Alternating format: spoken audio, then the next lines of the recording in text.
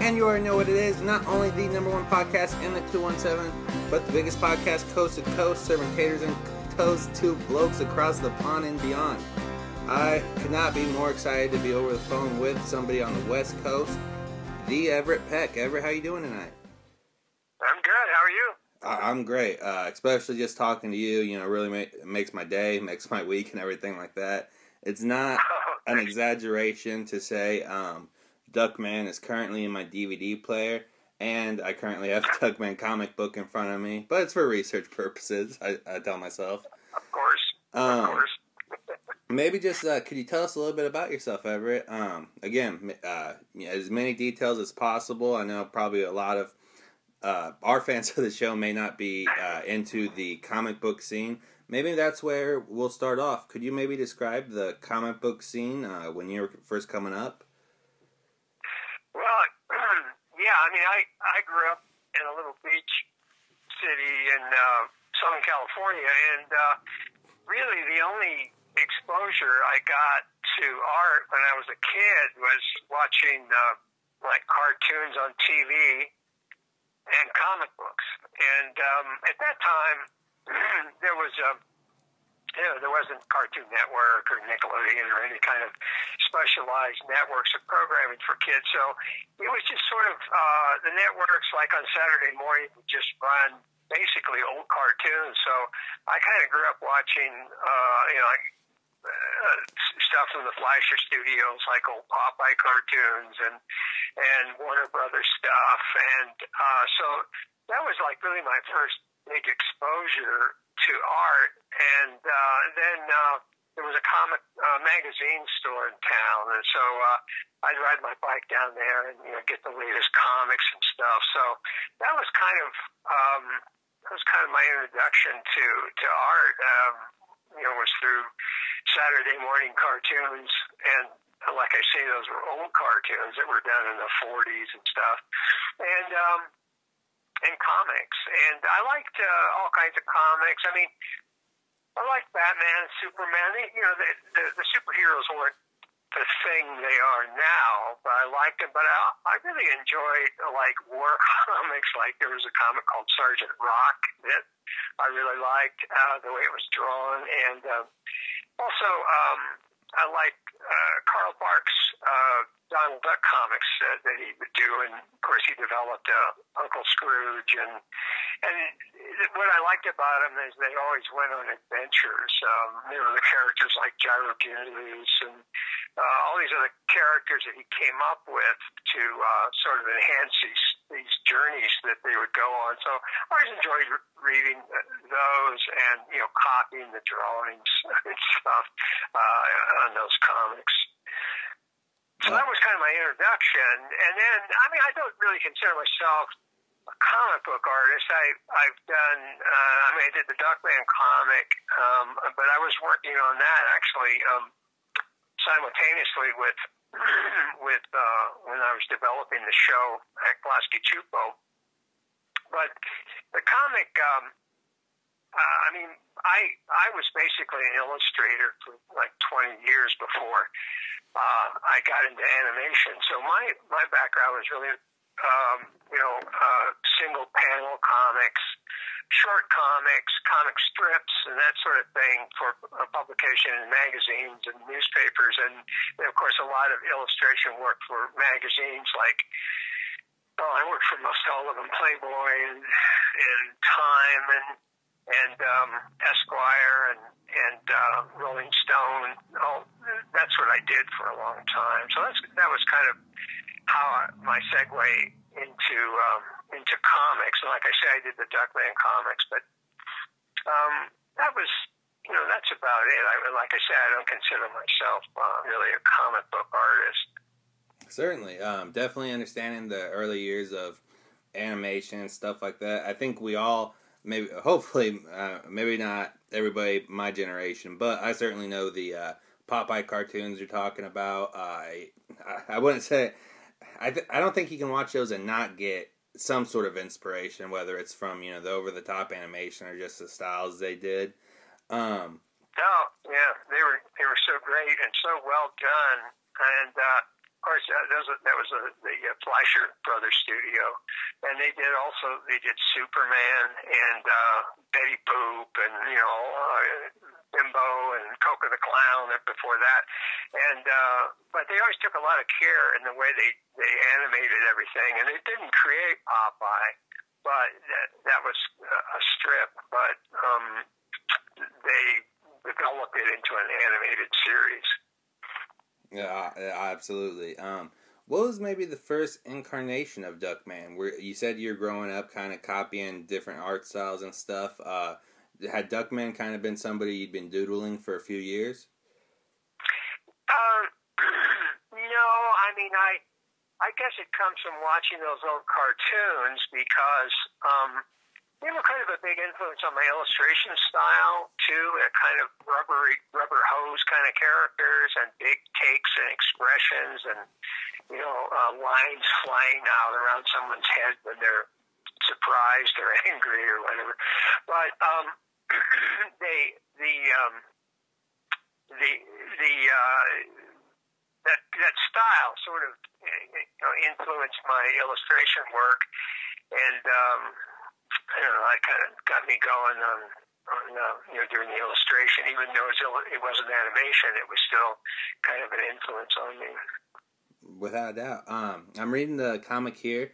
There's a cool kind of part of it where it's Duckman continues life in comics, um, and you know they have, I guess you could call it an interview with you, and just saying how. Uh, uh, even with the show, you didn't want to just turn over your creation to somebody, uh, you know, that you'd spent your time on you're emotionally oh, invested oh, yeah. in the product. Uh, what can you tell me a little bit about that? I know it's a big question, but of it seems like you did a great job with balancing your artistic vision with letting great ideas come in. Um, can you just maybe speak a little bit about that balance? Yeah, I mean, I I always liked animation, uh, like I mentioned when I was a kid. But when when I got into college and stuff, um, really, there wasn't much happening in animation anymore. I mean, uh, you know, that great uh, Fleischer Studio stuff, that was all from the 40s. And then some of the early 50s cartoons were cool. I like Hanna-Barbera and, and some of those shows that they did. Um, but beyond that, there, Disney wasn't really doing that much in the way of features in that period. It, I guess they did the Fox and the Hounds and you know a few things like that. But and uh, you know Ralph Bakshi was doing a couple of interesting things, but that was about it. There really wasn't anything on television or anything. And um, and then uh, you know in the late '80s, like I I attribute two things to kind of bringing animation back. Uh, the one was uh, the Simpsons when they started, and the other was uh, the Disney feature Who Framed Roger Rabbit, mm. where they they kind of brought all those comic characters together uh, in one in one film, I you know, for the first time ever, some of those characters. But um, so I think those two things kind of kickstarted animation again, and then that that's when things started getting interesting in animation, and that's when I kind of started, you know, kind of trying to make inroads into that area. Whereas before, I was happy just doing illustration and cartooning. Uh, absolutely, I'm reading here, and uh, again, just you know, for reference, uh, I can't draw a stick figure, but I'm the hugest fan of uh, animation. You know, everything that's you know led up to it. I have a lot of instances of think what Duckman in, inspired of today's cartoons. But um, just tell me if this is correct. According to this, um, uh, Duckman, the Duckman character came to life in 1989 with a one-shot appearance on Dark Horse Presents number 29, the Dark, Dark Horse comic. So uh, Duckman had a one shot chance, correct? Yeah, well, I mean, again, I wasn't really banking on on that. The Duckman was Duckman was always kind of a personal character for me, and it was just something. Actually, I created him in one drawing. Uh, actually, him and Cornfed. Uh, I still have the drawing. It's like the original appearance of Duckman and Cornfed in one drawing, and from there, you know, I, I had these two characters are kind of fun. I'm always drawing characters. I mean, I keep a sketchbook all the time, and I and I've drawn hundreds of characters. But you know, something about, about that relationship between those two characters, uh, Duckman and Cornfed, sort of got me kind of sparked up uh, on on on Duckman as a character. So I started working with him and and developing some strips, and I ran some in uh, East Bay Express. I think ran some, and then uh, Dark Horse did the one shot things, and and uh, but I always kind of did it just for fun, you know, just for myself. I wasn't really planning on uh, you know trying to d- develop it into something any further, but um, when uh, I was doing some design work for Gabor Csupo, uh, some Sesame Street spots. And uh, like I said, I was always kind of interested in animation, and when things started kind of happening again, uh, I I, uh, I started you know kind of of snooping around the studios and, and seeing what kind of design work I could do, and, and Gabor and I hit it off. Uh, right away, and and so I did a bunch of design. He asked me, "Well, you know, I, I want to uh, I want to do a series, and uh, do you have any ideas? And I said, yeah, you know, I've got I've got this character Duckman, and so I showed him what I had so far, which was really the comic in production, the early drawings, and I had done some paintings, and um, and uh, uh, you know a little bit of the comic, and I showed that to him, and and he liked it right away. So we decided to go into business together to, and to develop it. So. Uh, but I told him, you know, I, I really want to make sure that it, uh, I keep control of who the character is and the stories and all of that. And he was totally on board with that. And as we, uh, he produced, uh, self-produced a pilot, about a 20-minute pilot that uh, actually we used to sell the show. And then from there, uh, we uh, teamed up with Jeff and uh, Jeff Reno and Ron Osborn, who were the head writers ultimately on it. And um, you know, started casting uh, voices and stuff because uh, Jason Alexander didn't do the original pilot, and um, and uh, kind of went from there. But all the time we were in production, I wanted to make sure that you know the character kind of stayed true to my original vision, and um, and you know Jeff and Ron, we're, they were all great like that. We're we're still friends today. We we had a good time doing that show. We had some great writers, great artists working on it but I always kind of was there all the time and kept, uh, you know, kept my hand in it the whole time because it, yeah, it's kind of like my baby, you know. I, didn't want to just turn them over to, you know, people. Yeah, absolutely, and you know what the intricacies or the minor details of the character, you know, when it is your baby. Um, yeah, but well, plus plus I loved animation too. I still do, and so all of it was very um, interesting to me. And I loved, you know, working in a studio with, with a team and all of that.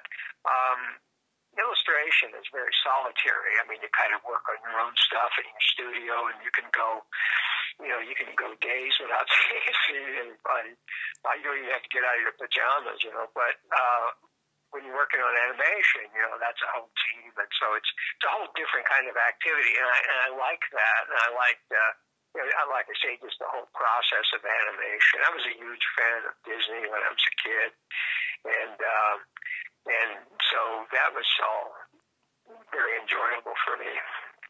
Absolutely. Could you maybe tell us a little bit for people who don't know? Uh, I'm sure you know. I'm sure you hear this each and every day, but Duckman definitely seems like a show that was ahead of its time. Um, well, can you tell us a little bit what the landscape of television was like in the early 90s? I can kind of give you examples of what I'm thinking about, but uh, what comes to mind when I say that? Well, like I say, that's that's really when the network started to pay attention to animation again. There had been a few attempts, you know, to do prime time. Um, I wouldn't call it adult, but prime time animation. They did the Flintstones, for one example, mm-hmm. in the '60s. Um, but that only lasted a couple of seasons, and it didn't really take off. And then there was another show in the late '60s called, and I don't know who did it. I can't remember who did it, but it was called "Wait Till Your Father Gets Home," and it was in a way kind of like a, a forerunner of Family Guy. And was this guy with these oddball kids and stuff, but kind of people. And that only lasted, you know, a season or two. And um, and then it went away. So they couldn't really get primetime animation to click. But then when when The Simpsons came along, of course that you know that started as a series of shorts uh, on the Tracey Ullman show, and uh, they were just quick little things, and they're pretty crude when you look at them now. But I knew Matt. I mean, I was friends with Matt Groening, and we used to hang out sometimes. And I remember when he was starting up the show, but he just started as a few shorts, and then, of course, it took off. And then all of a sudden, the networks get really interested in primetime animation. So they were trying all kinds of things. Hanna Barbera came up with a couple of things. One was called Fish Police, and some other thing. And uh, there were. Um, you know, of course, then King of the Hill came along, and that was a great show too. And, and uh, so, you know, all, all these shows, and around that same time, Duckman, uh, we we got a pickup uh, with Duckman. So, um, it was a pretty exciting time because, uh, you know, like I say, uh, primetime animation or you know more mature kind of animation really hadn't clicked uh, since TV began, you know. Uh, but now it was it was really rolling along. But the thing too about Duckman, I never intended it to be for kids. It was always uh, again, it was just stuff I was interested in, and and uh, Gabor and Jeff and Ron, and we were all we just did stories and things about stuff we were interested in. So it, it had you know, dealt with uh, adult um, concerns like sexuality and, and frustration and all kind, you know, all kinds of things that that uh, even The Simpsons really didn't deal with that that deeply. It was uh, so. I mean, I think in some ways that Duckman was really the only prime time animated show that was truly for adults. In fact, I always uh, I would get a little you know uneasy when someone would say like, "Yeah, my kids are watching Duckman. because uh-huh. we." Yeah, you know, we kind of dealt with adult situations and things on there in a way that other um, animated shows didn't do. Without doubt, and there's certainly a wrong way to do that. Yeah, I can give examples, but Duckman seems like handled every issue the right and most comical way it could. And I guess that's maybe why I'm thinking, uh, you know, that's why it's in my DVD player now. The episodes aren't dated. I, I can tell you specific uh, examples of uh, episodes I could play today, and you know, you wouldn't have to change a thing about it. Yeah, you know, it's funny. I I, I don't watch it very much, you know, but um, I I felt like we did about seventy shows, and I felt of those about a third didn't work, and a third were you know pretty good, and then there were I think a third when we were really clicking. I think it was as good as anything that's mm-hmm. been done, and it would hold up today. Um, but uh, one thing that helped too is that, and this was something I guess growing up watching those 30s and 40s cartoons, is I wanted to do animals, you know, as characters. So um, I, I'm not aware of any uh, of the any other primetime shows that w- that were doing animals. You know, they were all like kind of human based characters like Family Guy or American Dad or whatever. But they, I mean, they throw in a talking fish or something. But um, I always liked the convention of animated animals, you know, and that was always um, that was always uh, the case. You know, looking back on classic cartoons, for the most part, all the Warner Brothers stuff, you know, Bugs Bunny and Daffy Duck and all that stuff and so I love that stuff. I wanted to kind of bring that forward. But in, Duckman, certainly there are animal characters, but there's also hybrid and human characters too. So that made it a little, I guess, weirder and a little less real. So we could get away with stuff that it would be harder to do if all the the characters looked like humans. I can certainly feel that. Um, I think that style's been you know replicated so many times. The one that comes to my mind is BoJack Horseman. If you've ever seen any episodes of that, it's yeah. it's a hodgepodge yeah, yeah. of animals and humans, and kind of has a lot. Yeah, of... that, that's right. You know, it's funny. Um, I uh, I was developing another show at Klasky Csupo called Stinky Pierre, which I liked quite a bit. It, it was a human uh, based uh, series, and uh, we did a pilot, but it never it never made it. But I, I really I really liked the show and the characters. At the same time, they were working on uh, another crew. This has nothing to do with me. They were working on something called You Animal. And if you uh, you should look on YouTube sometime, just You Animal Klasky Csupo, and it's just like BoJack Horseman. I couldn't believe it when I saw BoJack Horseman the first time, I was like, crap, did, did Gabor get that thing sold and they're a different name or something? Because you, you, if you look at You Animal, man, it's uh, BoJack Horseman just right off of that. Uh, no, I, I don't know. I don't watch it enough to know where their stories go and everything, but uh, it's an interesting comparison. And, and, and then another one that was kind of interesting was uh, Turbo Snail. It came out as a feature, and Gabor was working on that thing forever, uh, just for himself. Um, I never was work, working on it, but you know about this uh, super fast snail I'm aware of it. Yeah. Turbo Snail. Uh-huh. Yeah, Turbo Snail, and and it never went anywhere. You couldn't sell it anywhere. And then all of a sudden, like, I see this movie, I, and I, I haven't talked to Gabor about it, but I mean, I, it's got to be the same character. I don't know what happened there, but anyway, so um, yeah, uh, BoJack Horseman certainly exists in that kind of human animal world idea. Absolutely. But the other, yeah, yeah, the other thing with Duckman too. I mean, we, uh, you know, we always wanted to make it really edgy and get away with as much as we could.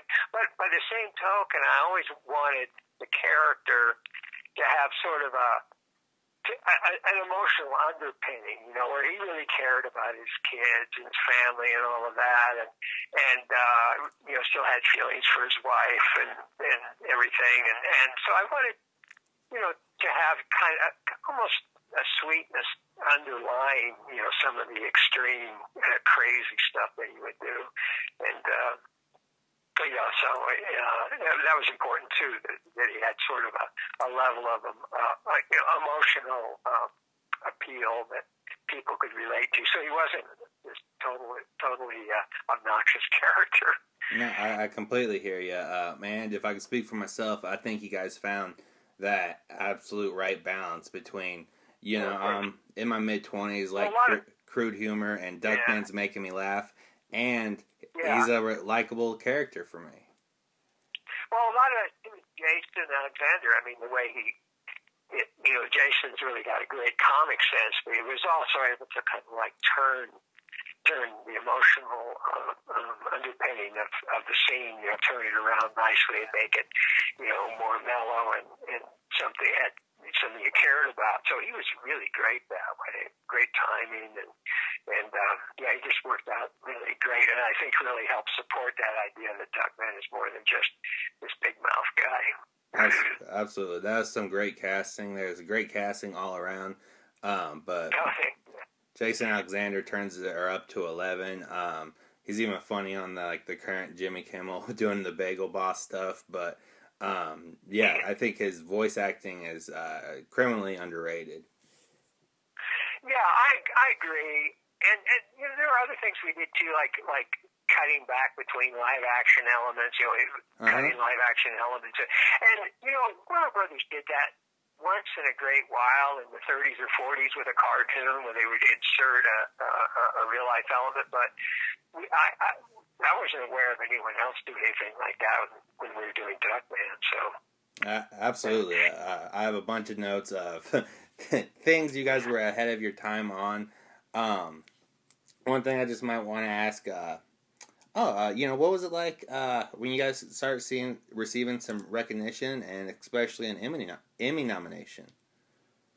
Oh, that was that was great. I mean, you always want, you know, it's always nice to be recognized by your peers in your your business. But um, we again, we always just sort of did it because it was something we wanted to do. We loved doing it. But yeah, when we got now we were nominated three times. I you know I wish we'd won once, but mm-hmm. but uh, getting you know it was cool. It was, we were getting nominated and and um, and so that you know that was very cool. That's awesome. Uh, uh, if one thing, uh, maybe people, you know, I want people kind of understand. And again, uh, my age makes it so I have to kind of research all this. I'm listening to commentaries and, uh, um, you know, doing trying to do my research. But something th- there was a real hunger at this time for these animated shows. Um, maybe people would say Simpsons clones. Um, you know, you may mention some names, but there was one called uh, the Family Dog. Do you remember that at all? Oh, absolutely, yeah. Uh-huh. That, that was, uh, yeah. It, like I, you're right. There was a real when the Simpsons took off.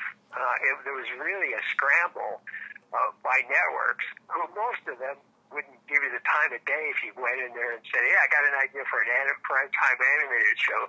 but once The Simpsons took off, then they were all looking for stuff. And yeah, Family Guy was. Uh, uh, that that was one. Uh, God, I'm trying to think of the show. Well, uh, the critic. I worked on that a little bit. I wanted to talk Uh, about that. We're not gonna just pass over that, but you can keep going.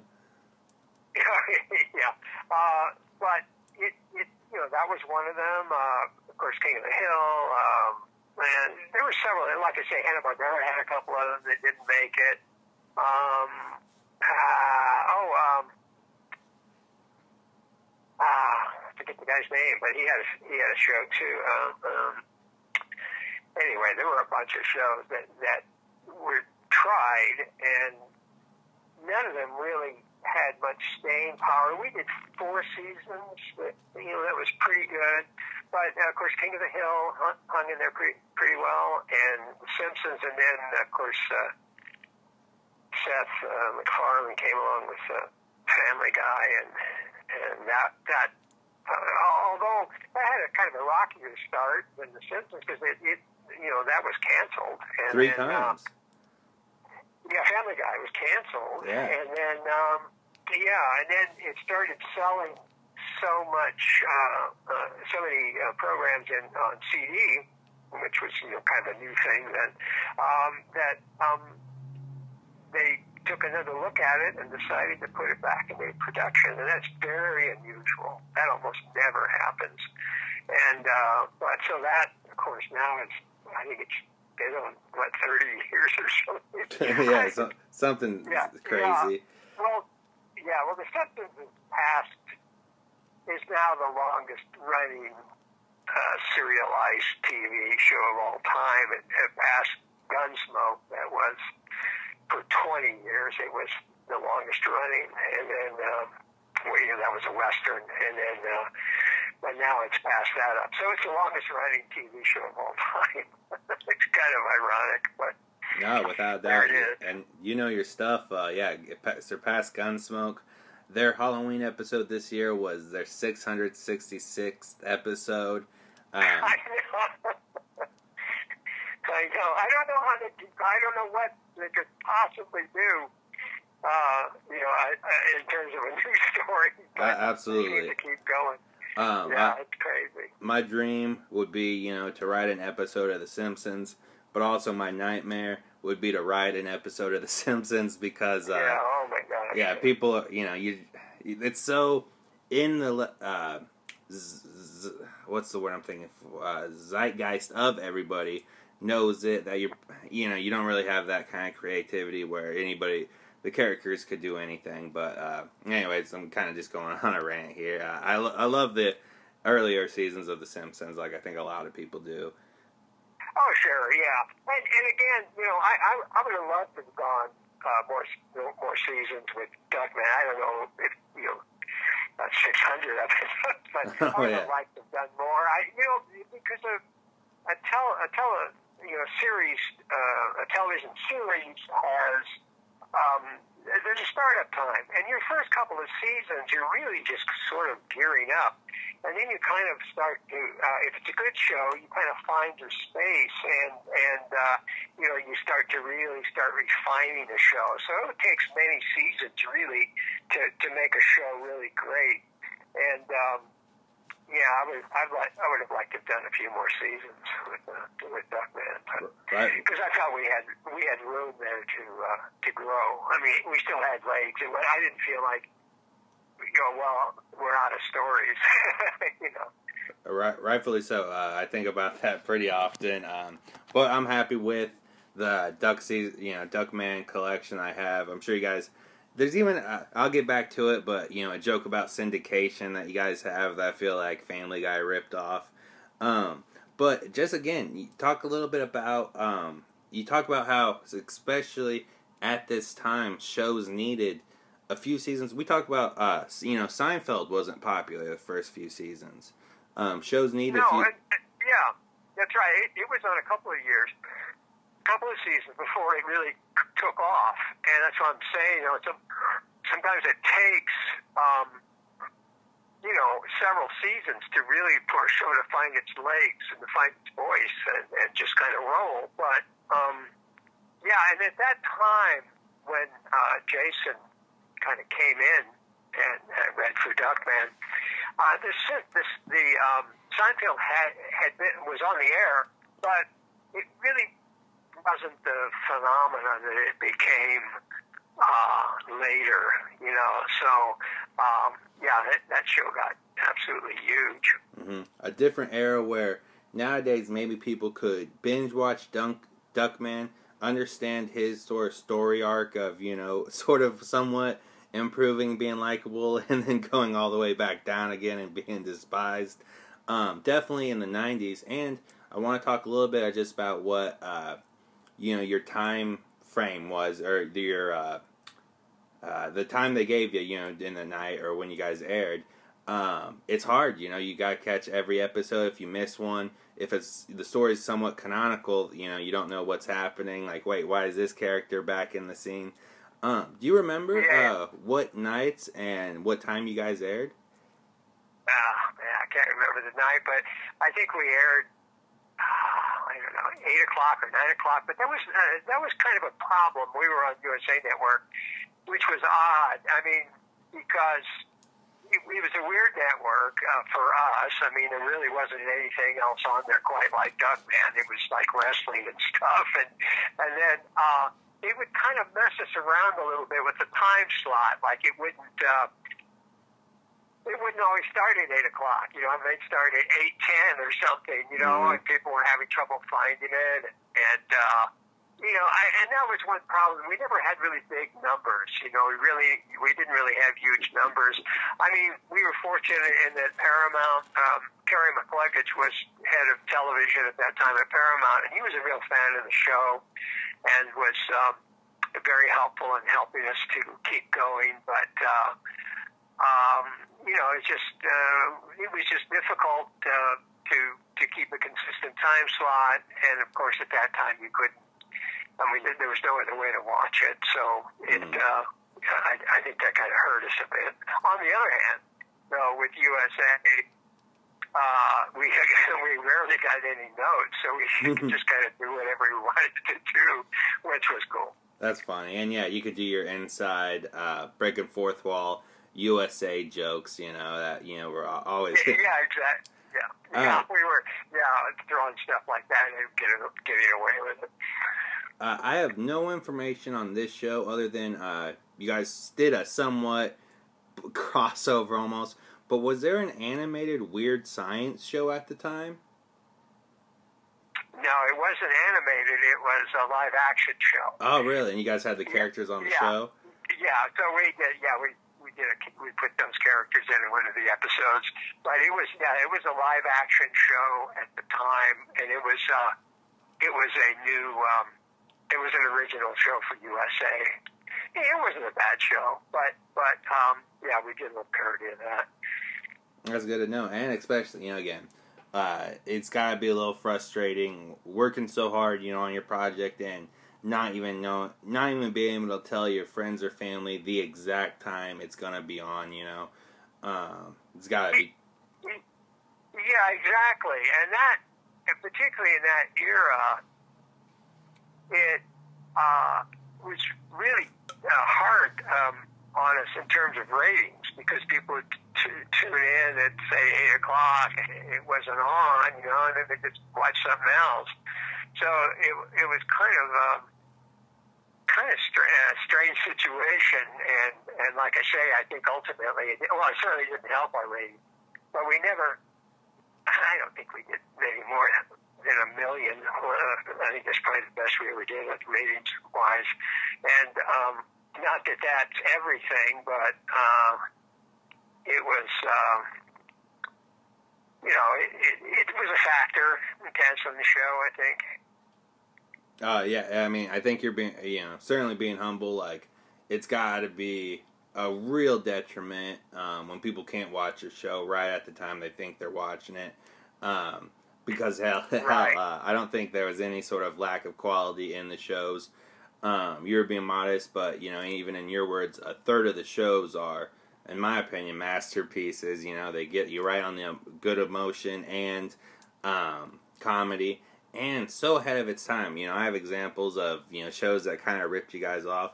Just want to talk maybe a little bit about. I'm such a big fan of the recurring guest stars. Um, I don't know what kind of hand you had with them, but uh, do you have any stories about Joe Walsh? Uh, I'm sorry. What was the question? Uh, Joe Walsh? Yep. You guys had a lot of recurring guest stars that I just thought was cool. Oh yeah. Um, oh yeah. Um. I yeah we once in, yeah once in a while we get some some musician guys in. Uh, and uh, I, the, the one I remember the most is James Brown. Oh, I, I was just watching that one. Yeah, yeah, and he uh, he came in with his entourage, and uh, that's uh, he did the song "Get Your Down Down." Uh, and if you know anything about his music, I mean, he was he was like the king of uh, you know that kind of uh, I guess uh, modern pop, you know. Um, music, but he was an icon, you know, James Brown. I mean, he was like the guy, and he was so cool when he came in and did that for it. But uh, Yeah, that yeah, I mean, we try.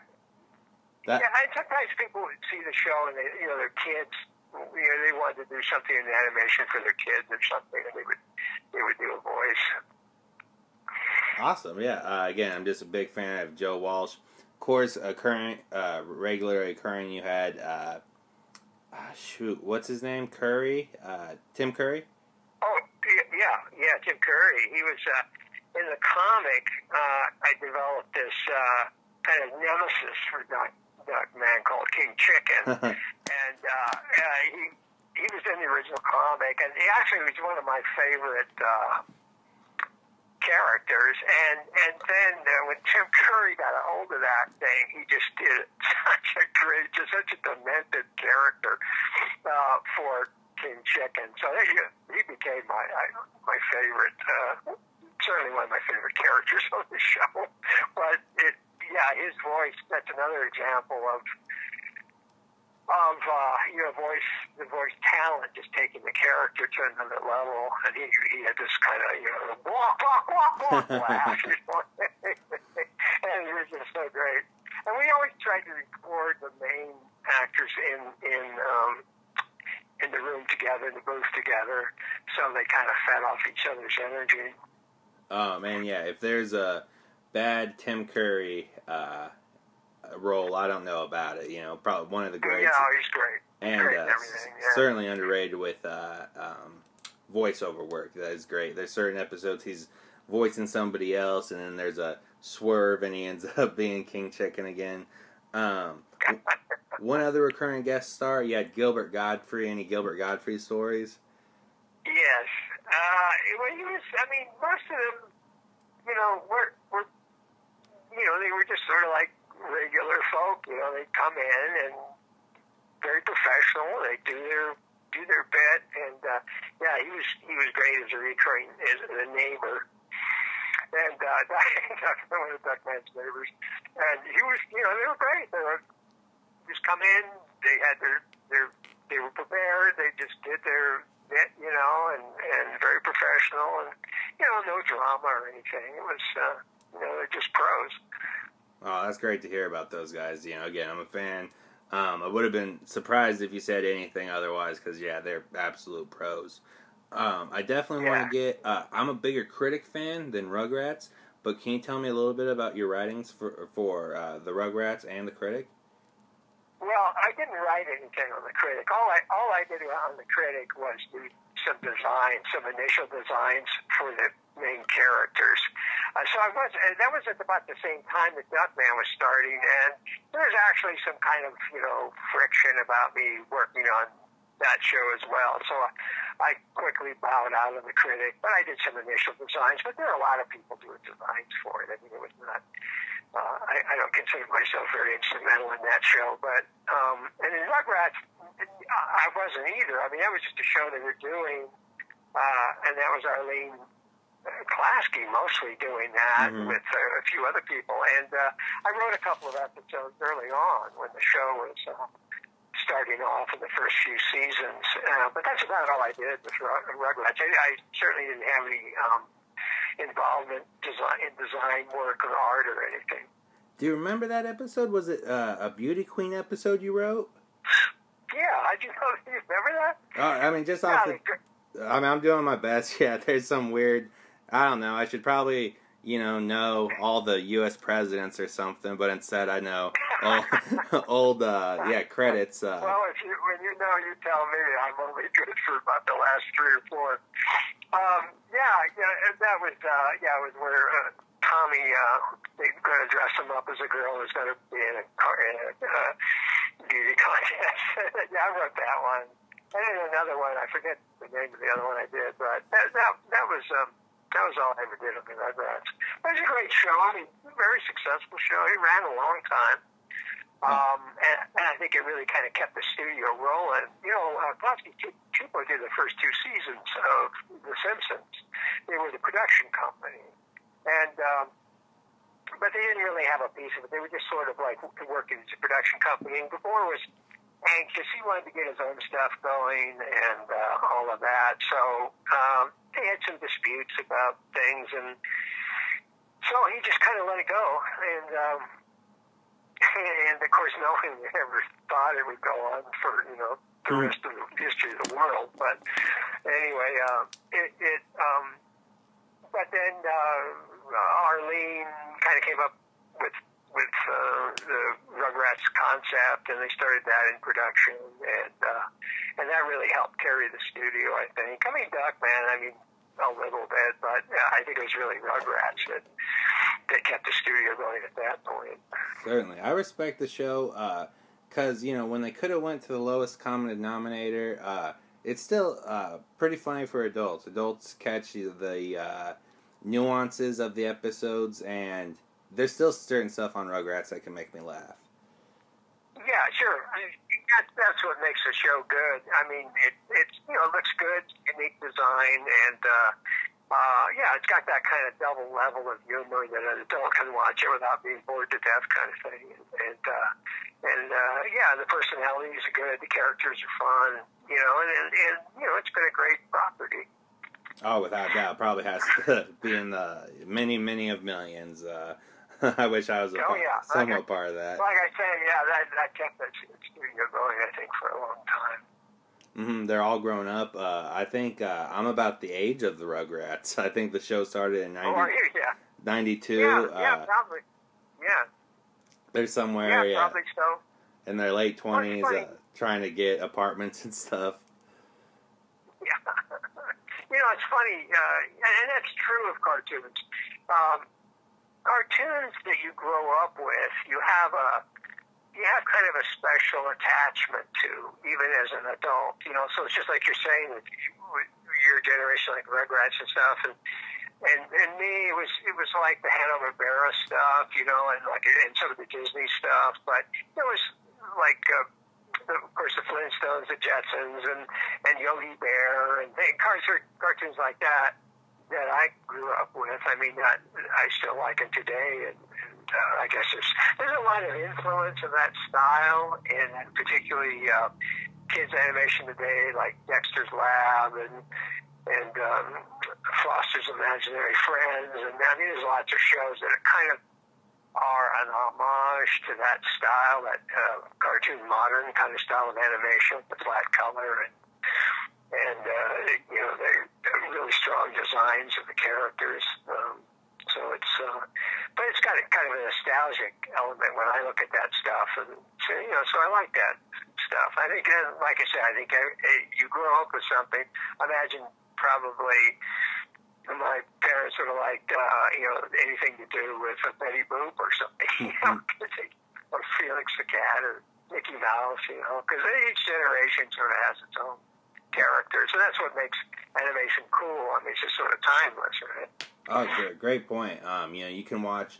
Uh, I don't know if you're familiar. There's a video game called Cuphead that takes the animation. Oh yeah, you know, Great. Yeah. Exactly. yeah, you know, exactly. That's a great. Yeah, that's an interesting show. In fact, a, a friend of mine uh, just started working on that show, and uh, of course, you know, it started as a game, and and uh, but yeah, that's very derivative of that kind of rubber hose style of animation from the 20s 20s and 30s, and it's really got that vibe. Yeah, and so and I, you know I teach uh, character design at Long Beach State, and and I, I tell my students, you know, uh, you can if you understand, there, there's like three basic influences. Uh, there's that kind of uh, stretch and squash rubber hose style of the 20s and 30s, 40s, and then there's uh, you know human-based characters like Superman or or Space Ghost or you know all those characters from that era and uh, Hanna Barbera did a lot of those shows. And then um, there's car- cartoon modern, like I was just talking about, and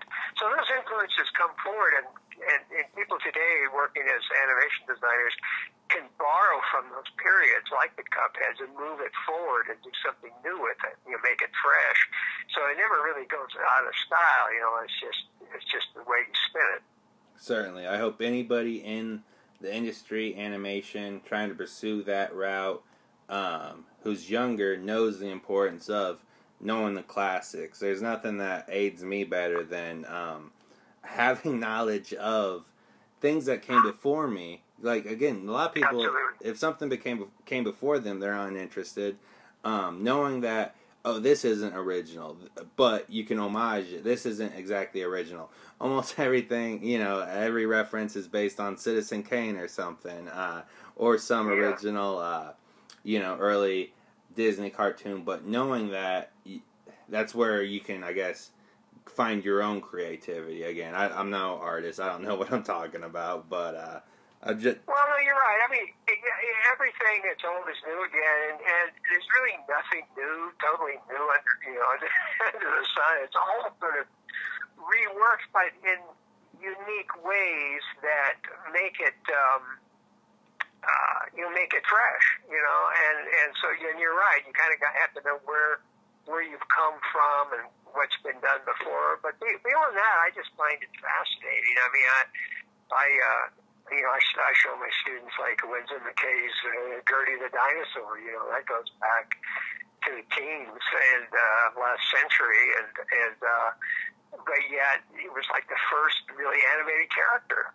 And uh, you know, so it still has relevance today. Uh, so it's good to know where you've come from a where your art forms come from. make sure uh, you know never uh, be skeptical about uh, i'm writing everything i'm not familiar down that you mentioned uh, so i can check her out later so yeah definitely i, I wasn't familiar with that last one you just mentioned make sure uh, Oh, Gertie. Yeah, yeah, mhm. yeah. It's, it's pretty amazing. Uh, he was um, he was a newspaper artist. He did a strip uh, called Little Little Nemo. Uh, I mean, uh, Nemo in Slumberland, and um, he, he was a huge uh, comic strip um, success in the turn of the last century.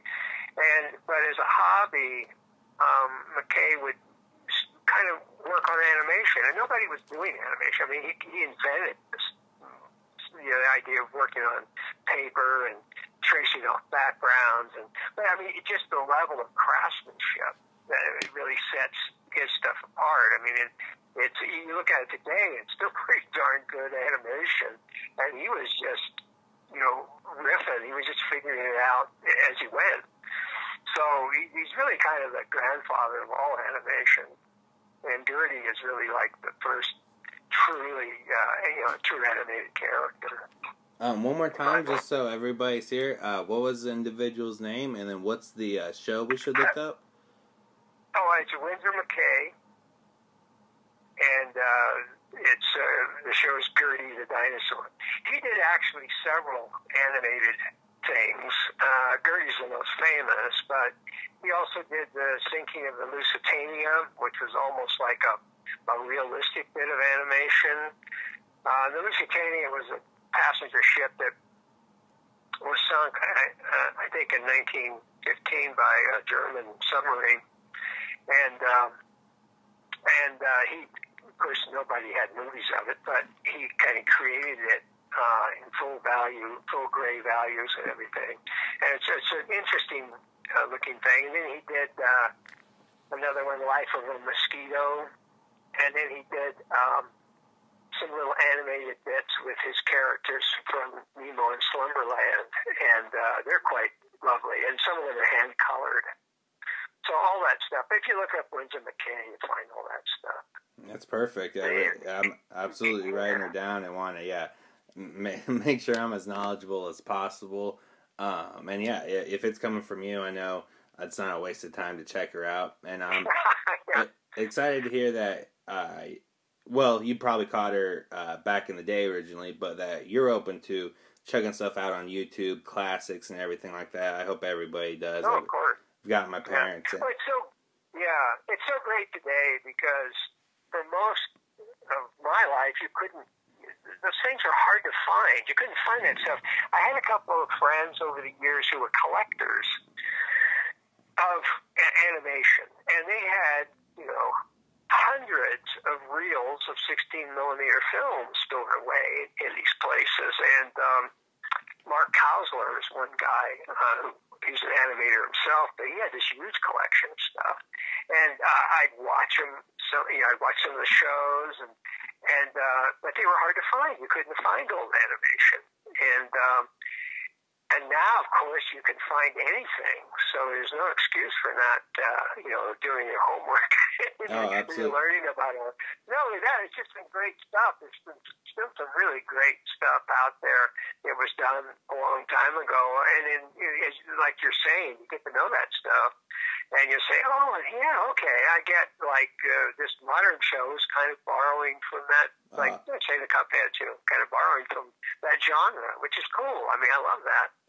Certainly. We're having a lot of fun on the podcast because we're having sort of a uh, mock trial of uh, me stealing jokes. But it, it all runs down to I'm actually not stealing, but homaging 60 year old jokes. You know, when instead that, you know, again, this is my whole defense and everything for the funny trial.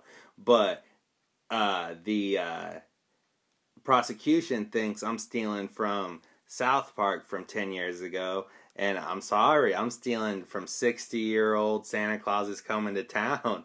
I think at that point it's an homage. yeah, basically. I did an impression yeah. of the B- Burgermeister Meister Burger.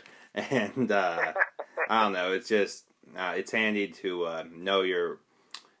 Know your know history, you know, because there's so much funny stuff. People were just as funny in whatever era. You know, they were working with whatever boundary. Oh, sure, yeah, yeah.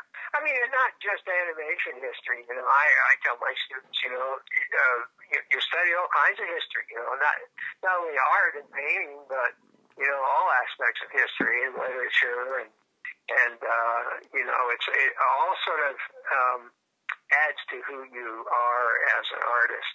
Certainly, life changes, and we're thrown into different um, eras but at the end of the day, we all feel the same emotions, whether it's anxiety, fear, um, not thinking you're good enough or anything like that, and that's why you can never get rid of the classics. Yeah, yeah, yeah. People are people. I mean, we don't really change that much. Certainly, I'm glad. You know, I guess all I didn't want to in school, but all the classics, you know, that I read and stuff. Um, mm-hmm. n- no bigger fan, you know, of classic cartoons uh, than me. You know, and again, something like Duckman. Maybe as a kid, I wasn't getting all the jokes, but it was making my dad laugh, and so he would keep it on, and it was a you know, so even if it's moderate bonding experience, you know, he's laughing, he's getting it. I'm doing my best to try to understand it, but you know, later on as an adult, I can understand it and enjoy it, and we can watch it together again. Yeah, absolutely. And and uh, like uh, I mentioned when I was a kid, there was a lot of the uh, 40s uh, Warner Brothers stuff on, and a lot of those were done during World War II. So it had they, they would have war references in there, uh, stuff like gas rationing stamps and stuff like which I didn't understand, but that's okay. You know, you just sort of roll with it. Absolutely. You know, as a kid, especially trying to be the funniest or you know not an arrogantly smart kid but a well knowledge kid you kind of just tune out the stuff you don't understand and then try to understand it. Could you tell me what it was like? Because i just personally don't know. I know the complete importance of uh, who framed roger rabbit and i love that movie. Um, could you tell yeah. me kind of just the storm of awesomeness uh, that it was when that released, and you saw who was it? Was it like Bugs Bunny right next to Donald Duck for the first time? Yeah, it was, uh, I think there's, a, there's a scene where uh, they're falling through the sky, and it's uh, Mickey Mouse and Bugs Bunny, I think, together. Mm-hmm. And of course, they'd never been together on the same screen. I don't know what kind of deal they worked out, you know, at the studio, but uh, yeah, they, they basically pulled in all those great. Um, classic animated characters for the first time, and it was really a great concept, you know, like cartoon land, the animation land, and also things like Jessica Rabbit. She's, you know, she's based on, uh, uh, you know, kind of sexy dancing lady uh, like Tex Avery would do. And I don't know if you're familiar with Tex Avery, but he was kind of the king of that whole uh, stretch and squash uh, school of animation, and and also was one of the first guys kind of dealing with sexuality in animation. And those those cartoons were made in the 40s, mostly for you know guys that were in the service and stuff. So they were kind of adult too. I mean, not as blatant as now because you know it's a different world now, but um, they were certainly uh, not meant for little kids. but um, so um, Jessica Rabbit is is. Uh, an extension of um, of uh, that Tex Avery stuff. Uh, absolutely. So you kind of you kind of learn from that. Absolutely, uh, I'm familiar with basic Tex Avery. Again, I'm gonna get off the phone with you and you know YouTube everything the rest of the night. But uh, that's a great point to bring up, and perhaps again, I, makes me I guess feel a lot better uh, about the sexualization of cartoons. I don't know why, but when it's for our boy boys overseas back in the day when they you know didn't have anything um, I can definitely stand behind it you know as long as things don't cross a line to pornographic I think you know everything has a place.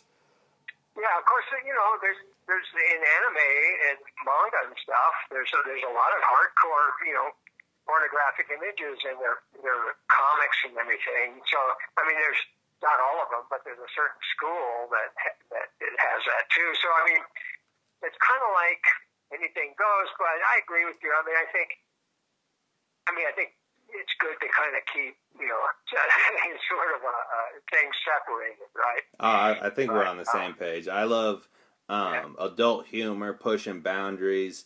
Uh, and then you, you just want to keep some, some things a little bit separate. You know, we're on the same page here. Um, yeah. I wasn't familiar with this. This is just something I maybe got off IMDb or Wikipedia or whatever. Um, do you have your own book called Odin?